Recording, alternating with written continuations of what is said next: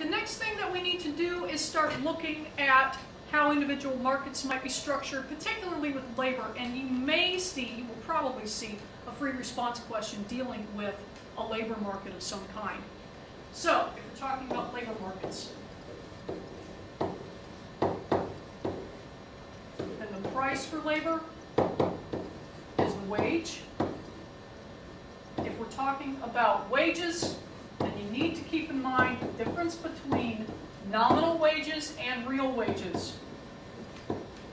Remember that nominal is the amount of money that a worker is actually being paid.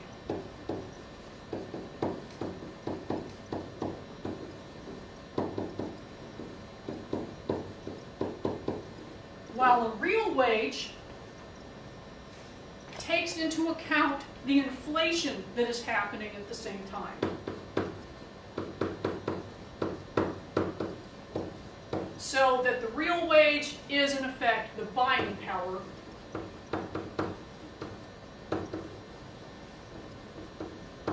of the nominal wage. So this is the money that you're getting in a paycheck versus what can you actually do in terms of spending it. And as you may have noticed with gas prices going up, which is making everything else more expensive as the energy price affects everything that's moved using energy, you're losing buying power.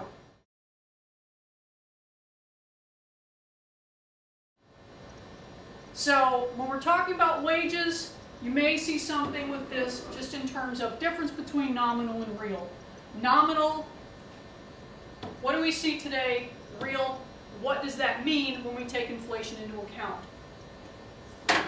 Now, in terms of what a labor market actually looks like, if we have a perfectly elastic demand for labor. And remember, the price is going to be the wage. Or you might just put P slash W so that we know what you're talking about. And quantity would be perhaps the number of workers and the number of man hours being supplied depending on how your problem is set up.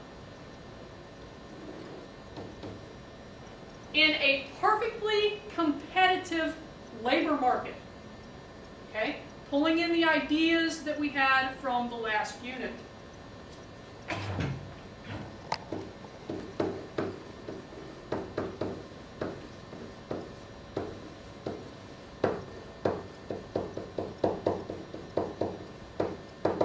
That's where you might see a horizontal demand or something approaching perfectly competitive would be more horizontal than vertical.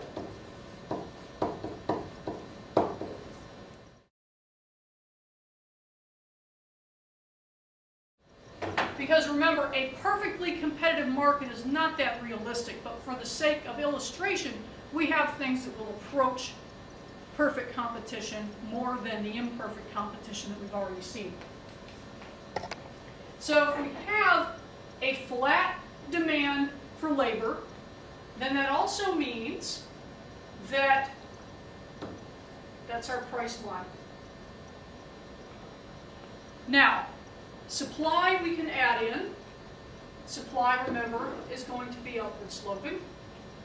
Demand is going to come from the firm. Supply is going to come from the household. So their equilibrium quantity is going to be determined by that intersection. So for this model, this would be the labor market facing the individual firm. Okay? This is for the firm.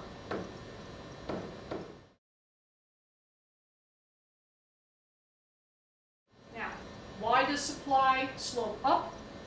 Because in order to attract workers away from other jobs or from college, for example, if you want people to quit school and come to work, you've got to offer them more money, perhaps, because they're not going to be pulled from things that could be, in their minds, better long-term opportunities. So to get more labor, you have to pay more for it. So higher prices, higher quantities. As you move up the price line, you move along the quantity line. Okay, so that's what you have to do to attract more people into the labor market, or get them to work harder and work more hours. Now, demand facing the market, or facing the, the entire industry rather, is not going to be flat like this. The market demand is going to slope down. So this is demand for the firm. This is demand for the industry. Now, why does demand for the industry slope down?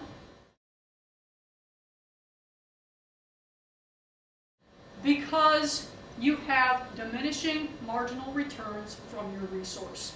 Meaning that as you continue to employ more of one resource, eventually you're going to have the amount of your total product decreasing.